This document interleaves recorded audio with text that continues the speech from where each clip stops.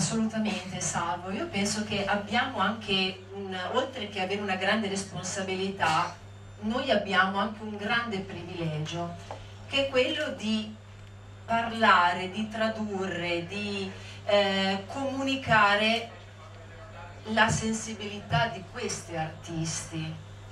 E non è proprio una cosa da poco, non è solo dire ha usato il rosso invece del rosa o il giallo al posto dell'arancione. Parlare della vostra arte, parlare dell'arte in generale, è un trasmettere un qualche cosa che va al di là di una facciata, è un qualche cosa che scende in profondità, è quel male che si trasforma in una perla.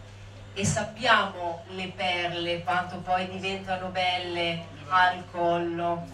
Quindi il nostro è un compito difficilissimo, è una responsabilità grande e noi dobbiamo continuare ad essere portavoce di, questo, di, di questa ricchezza che grazie agli artisti è senza fine, continua, va avanti perché paradossalmente da una notte in cui si dorme poco può nascere una poesia, da una giornata iniziata male può nascere un quadro, da un dolore può nascere una scultura da tutte queste piccole cose che nella quotidianità possono sembrare quasi secondarie, in realtà poi nasce la ricchezza e la bellezza di quello che poi effettivamente siamo.